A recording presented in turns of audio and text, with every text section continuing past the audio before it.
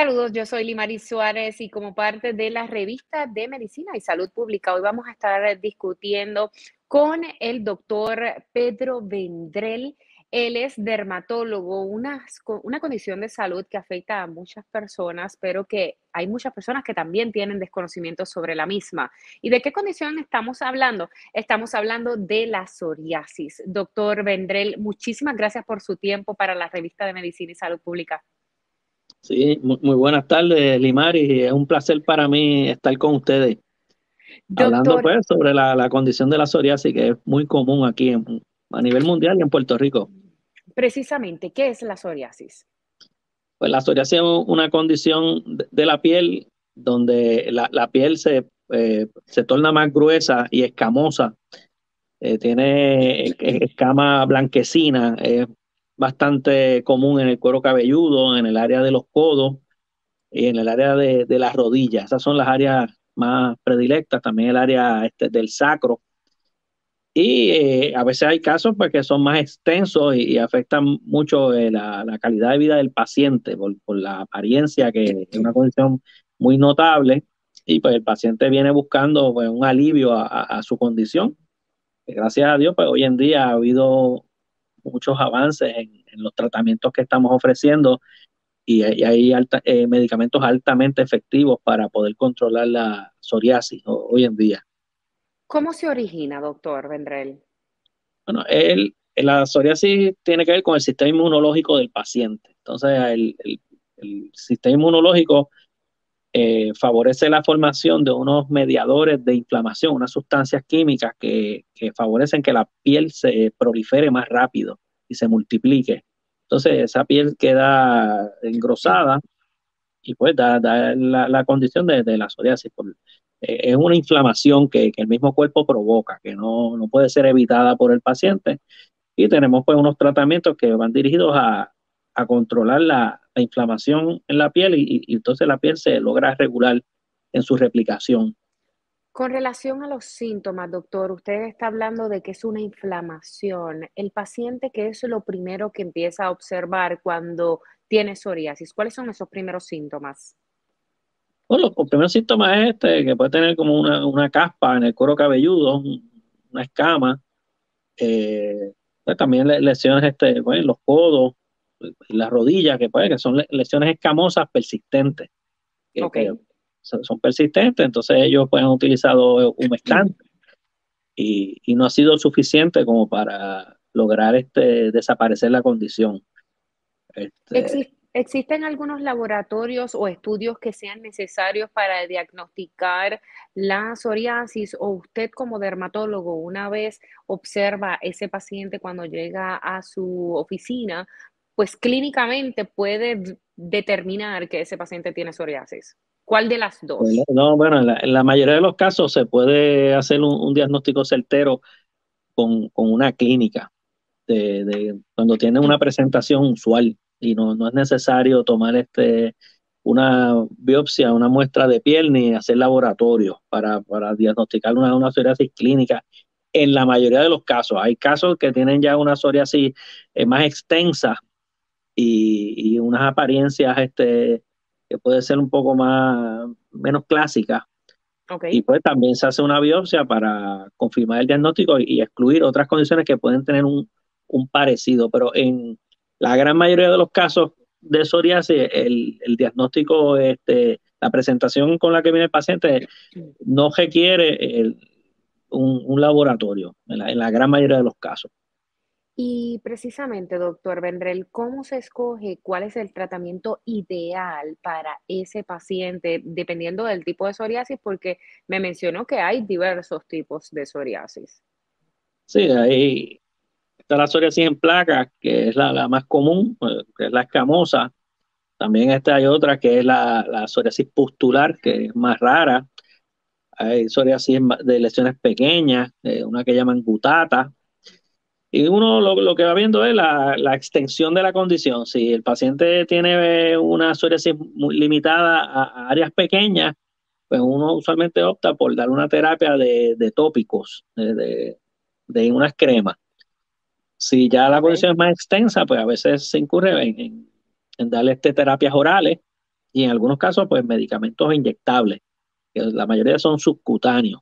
Esos son para la, psoriasis extensa. Y entonces uno se deja llevar este, mayormente por la superficie afectada, el porcentaje de, piel eh, afectada y, la palma de la mano equivale a 1%. Si tiene más de un 5%, pues ya se considera que con una psoriasis moderada. o sea que si tiene ese paciente, para ver si lo estoy entendiendo, si, si ese paciente tiene cinco palmas de la mano forraditas, si las va contabilizando en esa psoriasis, pues ya ese paciente tiene, usted podría determinar que tiene una psoriasis moderada. Sí, moderada. ¿Y que a veces pues, afecta mucho la calidad de vida dependiendo del área. Si es en las manos pues, o en la planta de los pies, pues es significativo el, pues, cómo se le afecta la calidad de vida al paciente. Entonces uno da unos tratamientos con la intención de ayudar al paciente al máximo que uno no, se deja llevar porque a veces hay gente que tiene menos de un 5% y uno opta por dar una terapia eh, que llamamos de, medicamentos biológicos, que tiene afectación en la cara, las manos, eh, área genital, eh, la planta de los pies, sin, tener mucha extensión, pues uno pudiera dar un tratamiento para tratar de, controlar al máximo la, la condición y mejorarle la calidad de vida. ¿Y cómo se identifica que un paciente no está respondiendo correctamente a un tratamiento?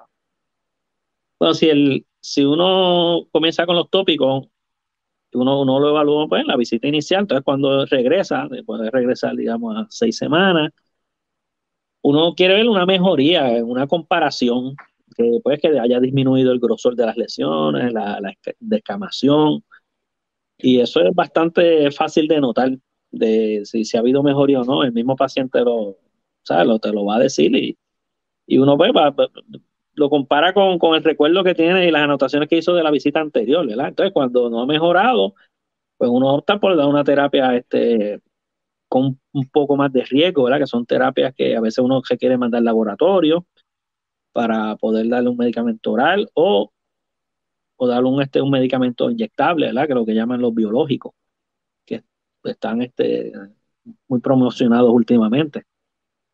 Y hay, mm. varios este, medicamentos biológicos en el mercado. O sea que hay, hay diversidad de, opciones.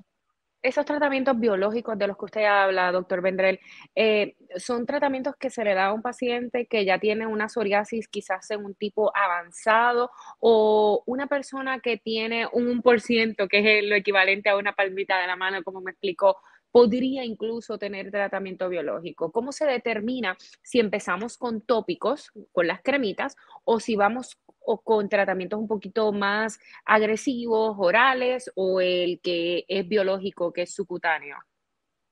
Bueno, este, si es muy poca la cantidad, un 1%, y pues es un área que no es este, un área oculta, digamos, pues uno pudiera pues este, tratar de darle una mejoría significativa con, medicamentos tópicos.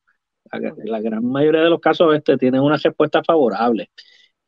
Este, y hay otros que pues los que la condición a veces este, empeora con el tiempo, la gente que, de cierta pues, severidad pues, pues se, pone peor la condición y, aumenta la afectación, entonces ahí uno pues tiene que, que utilizar una terapia que, cubra el cuerpo entero, que usualmente es una terapia sistémica, sea oral o, subcutánea o intravenosa.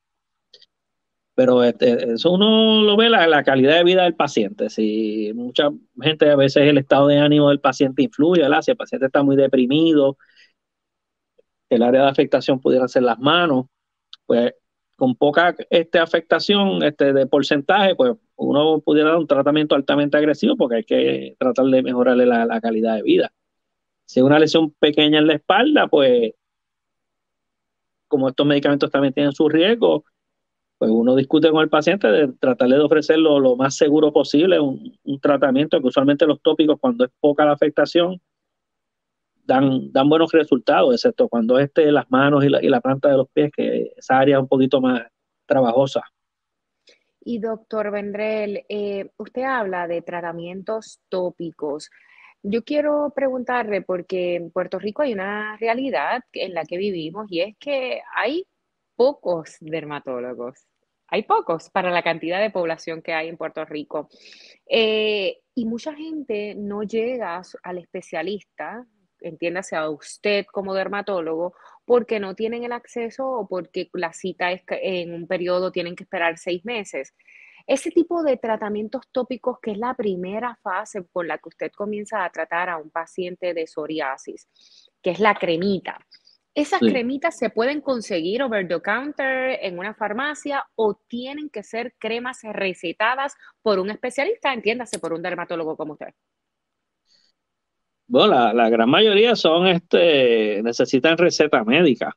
Eh, también están los humectantes, ¿verdad? Que hay, hay humectantes a base de, petrolato, que eso con una vaselina, que ayudan en, en muchas áreas este, que el paciente tenga la psoriasis, ¿verdad? Que son productos este, sin receta, como humectantes. Entonces está de los que tienen corticosteroides, pues la hidrocortisona está disponible sin receta médica. Eh, la hidrocortisona es un medicamento que se usa en ciertas áreas este, para tratar la psoriasis, pero que, en, otras áreas este, hay que usar este corticosteroides más fuerte tanto digamos codo y, rodilla. Entonces, el uso del corticosteroide también tiene su limitación, este, incluyendo las versiones que son sin receta, como la hidrocortisona, que en áreas de doblece, como debajo de las axilas, área eh, genital, entre medio de las piernas, son productos que, van a causar estrías y atrofia de la piel con el uso, si el uso, si el uso es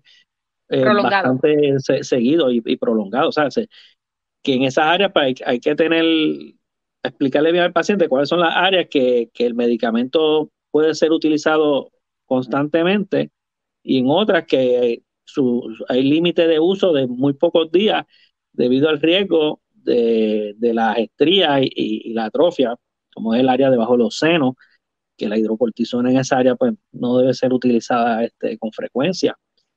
Interesante. Eh, pues, uno opta en esas áreas de doblece, pues uno opta más por darle este una vaselina que esa pues, alivian algo y no tiene el riesgo de, causar este estría, y atrofia este, debajo de los senos entre medio de las piernas. ¿Qué otras complicaciones, eh, doctor Vendrell, pueden estar asociadas a estos pacientes que tienen psoriasis? ¿Qué complicaciones se le pueden desarrollar a raíz de la psoriasis? La, psoriasis es una condición que es generalizada a nivel del cuerpo, o sea que es un proceso proinflamatorio. Estos pacientes tienen mayor riesgo cardiovascular, tienen mayor riesgo también de depresión del sistema eh, pues, eh, psiquiátrico, tienen también mayor riesgo de inflamación en las articulaciones, tienen riesgo de, de artritis psoriática en muchos de ellos, eh, un 33% pudiera desarrollar una artritis que, se asocie a la psoriasis. También pueden tener inflamaciones intestinales como las colitis, sea colitis ulcerativa, el Crohn's, wow. la, la hidranitis supurativa, que es otra condición inflamatoria. Son, son condiciones de la tiroides, eh, ser diabético, el síndrome metabólico, eh, mayor, un poquito mayor riesgo a tener un linfoma que la población general.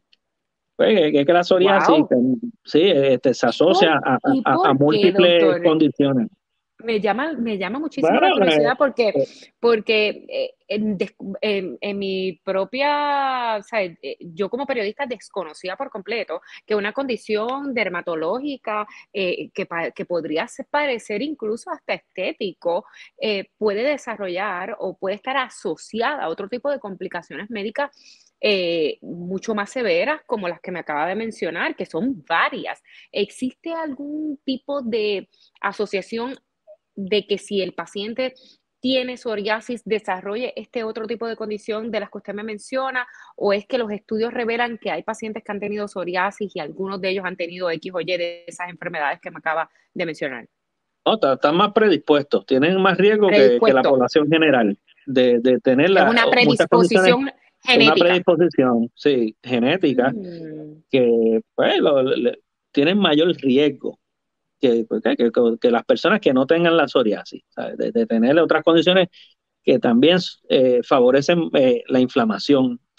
Muchas de ellas tienen hasta tratamientos este, compartidos, como las artritis psoriáticas, eh, se usa medicamentos como el metrotexato, que también se usa en piel, condiciones de, pues, del intestino inflamatorias como el, el, Crohn's y la colitis ulcerativa, que a veces tienen los biológicos, también en muchos de ellos se usan en la psoriasis, otros también se usan en artritis reumatoidea. Wow. son, son, medicamentos que, que se utilizan para bajar la inflamación. interesante. ¿Y cómo, ¿Y cómo usted sabe como dermatólogo que este paciente que tiene psoriasis está desarrollando, por ejemplo, esa psoriasis que empieza a afectar las articulaciones. Porque simplemente, por ejemplo, yo voy a donde esté y le digo, ¿sabes qué, doctor? Tengo pues psoriasis, pero me está molestando la muñeca, o me está molestando el codo, o me está molestando el tobillo. ¿Es así como, como también se diagnostica? Bueno, el paciente primero va, uno le va a preguntar si, si está teniendo dolores en articulaciones. Muchas veces uno, uno, nota hinchazón en, en, las áreas donde el paciente menciona tener el dolor y uno le palpa eh, los dedos. A veces tienen dedos hinchados, ¿verdad? Que parecen como una salchicha. Eso se asocia a la condición. Pueden tener problemas en las uñas. La psoriasis puede afectar las uñas y dar unas depresiones que llaman pitting. También pueden wow. tener unos cambios que, que tengan una apariencia similar a, a, un honguito en las uñas. La psoriasis a veces es indistinguible de, de, en la apariencia de cuando hay hongo, puede tener las dos condiciones a la vez. Wow. Entonces puede afectar las uñas, puede afectar las articulaciones, eh, aumenta el, el, riesgo, la obesidad, es común verla con, con la psoriasis y el, y, y el síndrome metabólico, ¿eh? problemas de, de lípidos que están verificando. El, wow. Una mayor predisposición a diabetes, siempre se recomienda una dieta sana, hacer ejercicio, y eso, eso es parte de lo que ve el estado anímico del paciente. Se hay que referirlo a un psiquiatra. Estos pacientes. Sí, que pues, es mucho más holístico. Tienes que mirar mucho más allá de, de mirar sí, eh, la, limitarse el físico, a, la piel. A, a, mirar la piel. Sí, eso es así. ¿Y, ¿Y cómo se determina que un paciente está en remisión, doctor?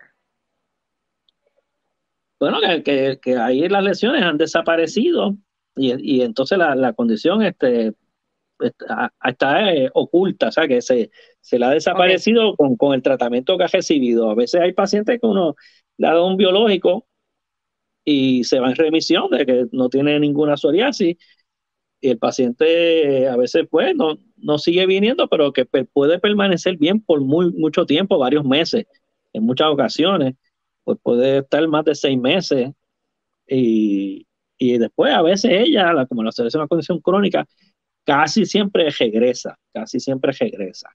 Wow. Esa, es lo, ben, lo, lo, de la psoriasis, lo, lo, más característico. ¿Cuál es la psoriasis más retante para usted como médico?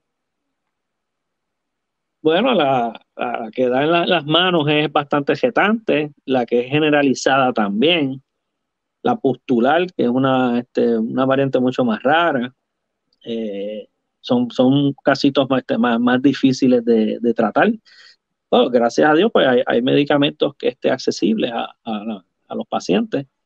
Y uno, bueno, haciendo unos intentos hasta buscar este, una terapia que el paciente, pues, se, se nota la gran mejoría en el paciente. Y a, y a nivel de medicina primaria, usted como dermatólogo, ¿cuál diría que es el reto más grande? Bueno, el, aquí lo importante es que, lo, que los médicos primarios sepan como reconocer la condición, dar los casos que ellos puedan manejar, pues, pues ofrecer los corticosteroides tópicos, que los hay de baja potencia, mediana potencia y alta potencia. Okay. En, en, el cuero cabelludo, pues usualmente eh, se tolera bastante bien la alta potencia. En los codos, en el área extensora, y, y, las rodillas, en el área anterior, pues sí también se tolera el, el corticosteroide, ¿verdad? Eh, por un tiempo la alta potencia, luego a veces hay que eh, disminuirla. Eh, hay otros tratamientos tópicos también, ¿verdad? Uno a base de análogos de, la vitamina D.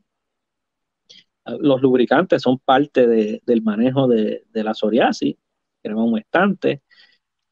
Y, y entonces los, los casos que, que no tengan una gran mejoría, a través de, de, lo que haya ofrecido el médico primario, pues el médico primario pues opta por, por referir los pacientes que, que, era pertinente o con muchos pacientes también llega por iniciativa propia al, al dermatólogo, ¿verdad? Sacando una cita. Y entonces habías dicho que pues había cierta, notaba que, que había como que carencia de, de, servicios dermatológicos.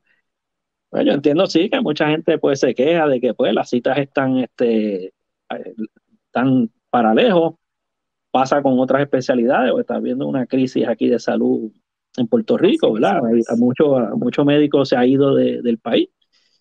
Eh, y hay pocos subespecialistas en ciertas especialidades más que en otras. Así es. Eh, pero que una vez llegan, eh, pues se le da el seguimiento, ¿verdad? Que el paciente no, no se abandona, ¿verdad? lo, difícil es llegar, como usted dijo, y pues hay opciones, ¿verdad? Este, hay unos que pues son más accesibles que otros, pero pues hay, hay, tampoco pierdan la esperanza de que Doctor Vendrell. es algo posible conseguir la cita. A mí me gusta siempre en toda entrevista, eh, ¿verdad?, ofrecerle alternativas a los pacientes, a la gente que nos está escuchando o que nos está viendo como periodista, darle alternativas quizás de inmediato.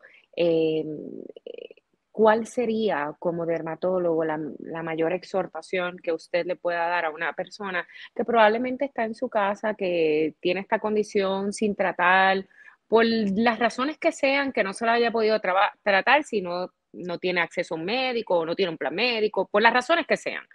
¿Qué usted le diría a estos pacientes? ¿Cuál es su, su mayor exhortación a los pacientes que padecen de psoriasis? Bueno, muchos pacientes, como llevan mucho tiempo con la condición, gente ya mayor, pues, eh, pues se le ofrecieron unos tratamientos que, que, fueron, que fue lo que estuvo disponible, digamos, hace unos 25 años atrás.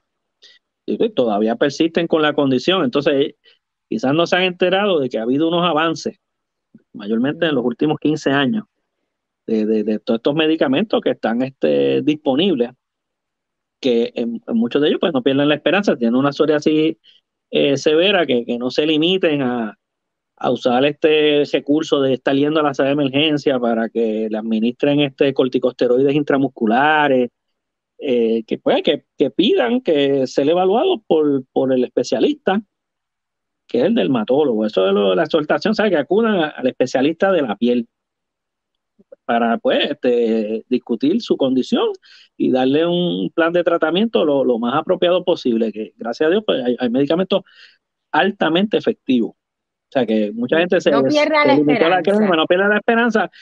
Yo sé que en muchos casos con la crema no es suficiente. Entonces mucha gente ahí tiró la toalla creyendo que no hay otras alternativas. Y realmente las hay.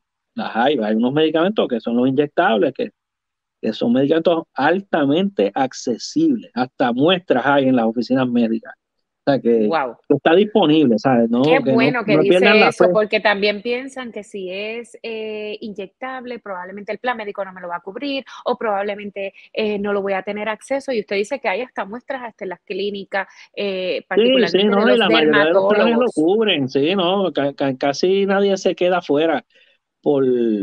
A casi nadie se le, se le niega el acceso al medicamento. O sea, los, los, planes médicos lo, lo tienen como una prioridad este, tenerlo en el formulario y están disponibles, hay alternativas. O sea, que no se frustren en caso de que ellos ameriten el, el medicamento biológico. ¿eh?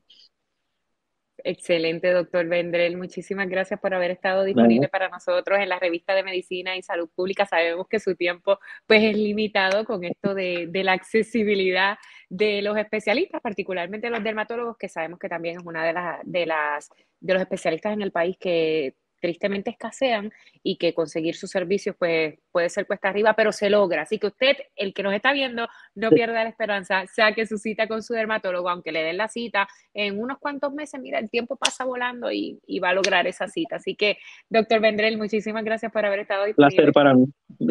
igualmente. Que tenga excelente día. Gracias, gracias. Vale.